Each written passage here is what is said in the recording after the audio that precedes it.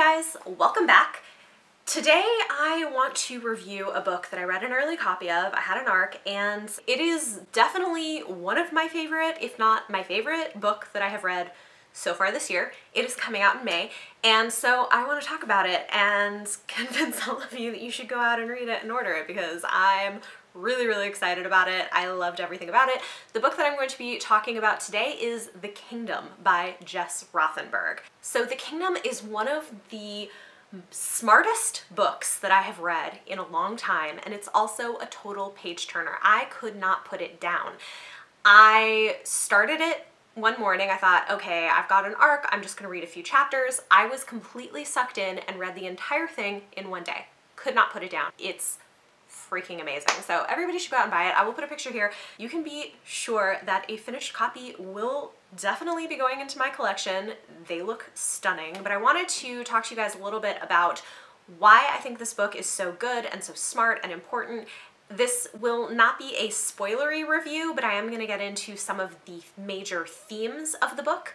And I will also talk about some content warnings because there are some that you may want to be aware of. It's funny too because I don't know that I would have necessarily picked up The Kingdom, except that I heard Dhonielle Clayton talking about it at the launch for The Everlasting Rose, the sequel to The Belles, and when she talked about it, I thought, that sounds really good. Let me look into that. So I requested it, I got approved, and guys, I mean, you see where we are. I'm doing a review of it because it was so good. The Kingdom is a light sci-fi thriller.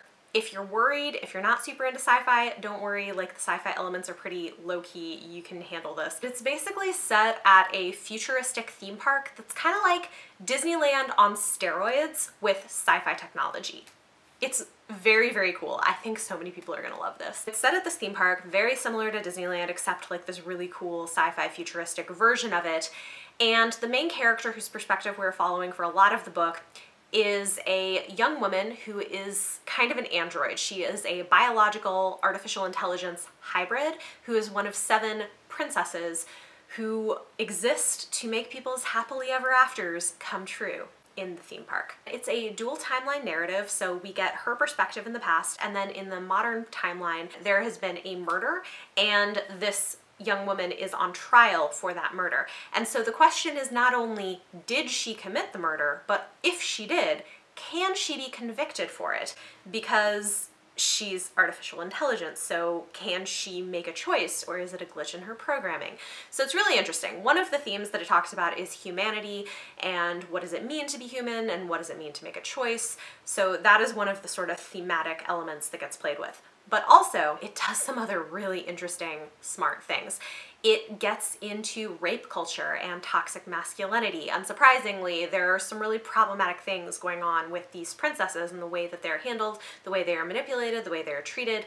And so you're gonna have some content warnings for some of that in terms of um, on the page sexual harassment, off the page sexual assault that you know is happening but you don't actually see it happening on the page. It also really gets into one, how we commodify beauty and that is really interesting, but also in a, a, way that I thought was just absolutely brilliant, she gets into how we commodify diversity.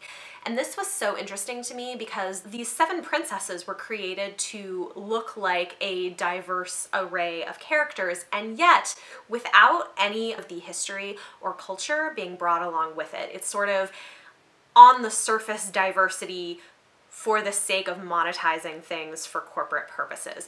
There's even this really interesting line, I don't know if I'm gonna get this exactly right, but one of but there's a reference to one of the princesses authentic Nigerian jewelry that was made in Taiwan.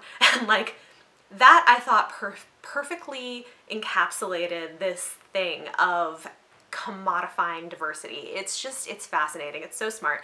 She also really gets into the environment because it's in a future where we've really degraded the environment and so this theme park becomes an escape from that and a lot of species have died off. And so it's a place where they're bringing back animals but with some sort of artificial changes. And so it also gets into animal cruelty and what does it mean to be cruel to animals. So if you're at all sensitive to that there's definitely some kind of difficult to read scenes of animal cruelty on the page but I think it's really powerful and it parallels a lot of what's happening with the princesses as well. So there's more, but I will stop there. Hopefully I have intrigued you enough that you will go out and pick this up.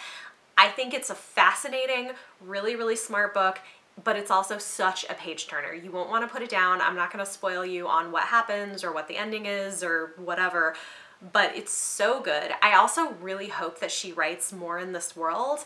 I'm pretty satisfied with the conclusion of the main character's story in this, but I would love to get novels or novellas in the perspectives of some of the other sister princesses. I think that would be fascinating and there's so much room to play in this world. So fingers crossed it's a big hit and we get more of it because I am a huge fan. So talk to me in the comments down below. Let me know if any of you guys have read this, if you're planning to read this, if you loved it as much as I did, because clearly I am a huge fan. And I am going to be interviewing the author at the end of May when the book launches. You guys will not be getting that interview probably until sometime in June because it's the week of BEA and BookCon, so my life is going to be crazy. But I'm really excited to get to sit down with her and chat about The Kingdom because I love it. So go check it out. This is not sponsored. I just love it a lot, so I thought I would make this video. If you guys like this video, give it a thumbs up, subscribe if you want to see more. Thank you so much for watching, and I will see you next time.